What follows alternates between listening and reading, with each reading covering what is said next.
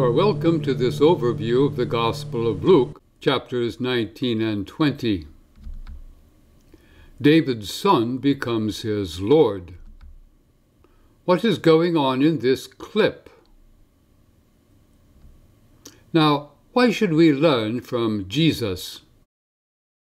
Well, for one thing, today we and our youth have become subject to the tactics and strategies of cognitive warfare. This includes neurolinguistic programming leading to mass psychosis. Because powerful non elect men are actively manipulating our thoughts, beliefs, and emotions. These psychological operations make us fearful, compliant, or obedient to unseen authorities. Thus, the gospel of Jesus remains our best defense providing us with credible alternative truth. Our lesson outline includes the following seven points. Leaders seek to kill Jesus. They doubt Jesus' authority, and he doubts theirs. So these leaders seek to entrap him, while Jesus corrects their beliefs. He queries their beliefs and then warns his disciples. What does this have to do with Roman armies? As a background to this passage, we note that religious leaders sought to suppress popular preachers, partly because everyone remembered the disastrous tax revolt of the year 6, when soldiers slaughtered so many citizens. Now we know that much of the land was owned by the wealthy, who would rent it out to tenant farmers. If a man died in a vineyard, then this would defile the fruit, making it inedible and unsaleable. What is this young man doing? Why are we showing this? Now, foreign coins bore the emperor's image and the divine status that they claimed. Jews believed that angels do not procreate because God can create new ones. Jews understood that many Psalms spoke about their awaited Messiah. Oh, here we go. God deplores those who perform religious duties to be seen by others. Part 1 Leaders seek to kill Jesus. What was Jesus doing in the temple? When Jesus entered the temple courts, he began to drive out those who were selling. It is written, said he to them, My house will be a house of prayer, but you have made it a den of robbers. It is written signals that these words are quoted from the First Testament, the Hebrew Bible. Reference to my house from Isaiah in the ninth century and a den of robbers from Jeremiah in the sixth century. What is Jesus doing in the temple? Every day he was teaching at the temple, but the chief priests, the teachers of the law, and the leaders amongst the people were trying to kill him. Yet they could not find any way to do so because all the people hung on his words. Kill him? Why? What for? Perhaps because he claimed to be the awaited Messiah? Did they fear that the Romans might intervene? Part 2 Leaders doubt Jesus' authority. One day, as Jesus was teaching the people in the temple courts and proclaiming the good news, the chief priests and the teachers of the law, together with the elders, came up to him. Uh, tell us by what authority you are doing these things. Who gave you this authority? Well, what does this have to do with John the Baptist? Jesus replied, I will also ask you a question. Tell me, John's baptism, was it from heaven or of human origin? They discussed this amongst themselves and replied, Well, if we say from heaven, then he will ask, Why then did you not believe him? But if we say of human origin, then all the people will stone us because they're persuaded that John was a prophet. So they answered, We don't know where it was from. Say Jesus, Neither then will I tell you by what authority I am doing these things. Well, why did Jesus decline to assert his authority? Well, for one thing, he had already demonstrated it, and they had already rejected him. I think he also enjoyed outwitting the arrogant. Part 3 Jesus doubts their authority. What does this have to do with grapes? Jesus went on to tell the people this parable. A man planted a vineyard, rented it to some farmers, and went away for a long time. At the harvest time, he sent a servant to the tenants so that they would give him some of the fruit of the vineyard. But the tenants beat him and sent him away empty handed. Is this perhaps the owner and his son? The owner sent still a second and later a third, whom they wounded and threw out. Then the owner of the vineyard said, What shall I do? I will send my son, whom I love. Perhaps they will respect him. What Bible verse does this remind you of? God so loved the world that he gave his one and only Son, that whoever believes in him shall not perish, but have everlasting life. So when the tenants saw him, they talked the matter over. Uh, this is the inheritor, the heir. Let's just kill him, then the inheritance will be ours. So they threw him out of the vineyard and killed him. By current law, if a landowner died and had no inheritor, then tenants could assume ownership. So why throw the man out and then kill him when they had beaten other men before throwing them out? Well, had the man died in the vineyard, then the fruit would have become unclean and could be neither sold nor eaten. What then will the owner of the vineyard do to them? He will come and kill those tenants and give the vineyard to others. When the people heard this, they said, God forbid! Jesus looked directly at them and asked, Then what is the meaning of that which is written?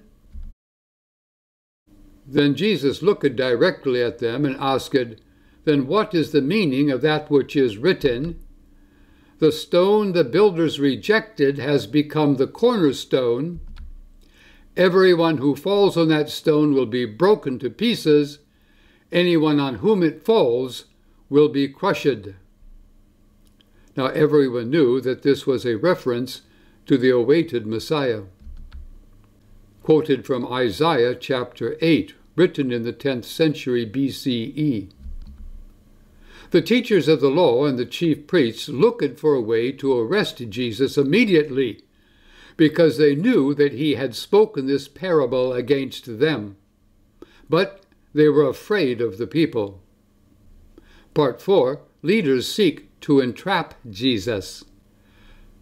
Now, the governor at the time was Pontius Pilate, whose identity has been found in this carving discovered at an archaeological site of Caesarea Maritima.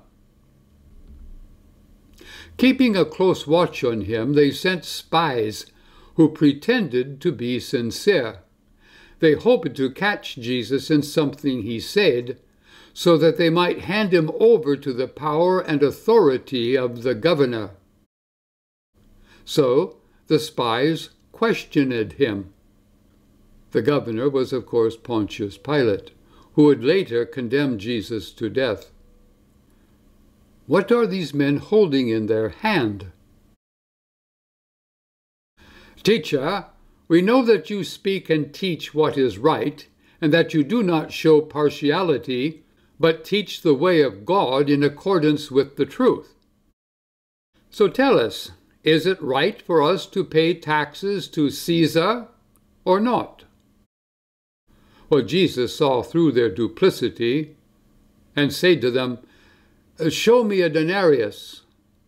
Now, whose image and inscription are on it? Well, Caesar's. Here's a denarius, coined in about the year 41 BCE. At the time of Jesus, a denarius was the daily wage of a Roman soldier. So Jesus then said to them, Then give back to Caesar what is Caesar's, and to God what is God's. They were unable to trap him in what he had said there in public and astonished by their answer, they became silent. Jesus corrects those leaders' beliefs. What does this have to do with a Jewish wedding? Some of the Sadducees, who say there is no resurrection, came to Jesus with a query. Teacher, Moses wrote for us that if a man's brother dies and leaves a wife but no children, the man must marry the widow and raise up offspring for his brother. Now then, at the resurrection, whose wife will she be? At the resurrection. But those who are considered worthy of taking part in the age to come and in the resurrection from the dead will neither marry nor be given in marriage, and they can no longer die they are God's children. In Greek, literally, the sons of God. Who were the sons of God in the First Testament? That was a class of spirit beings who rebelled against Yahweh.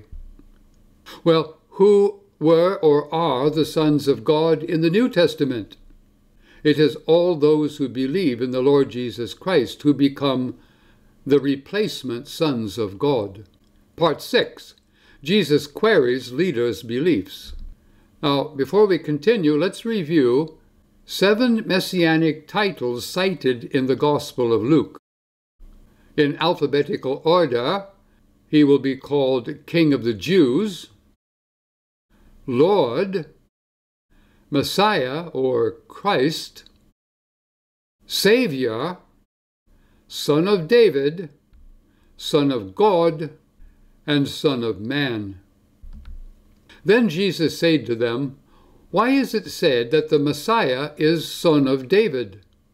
For David himself declares in the book of Psalms, The Lord said to my Lord, Sit at my right hand, until I make your enemies a footstool for your feet.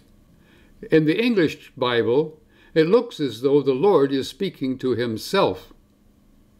So let's examine this eh, first in the Hebrew, marking two words translated Lord in different colors.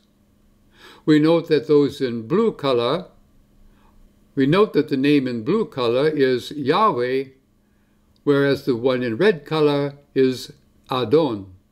A literal translation, declaration of Yahweh to my Lord.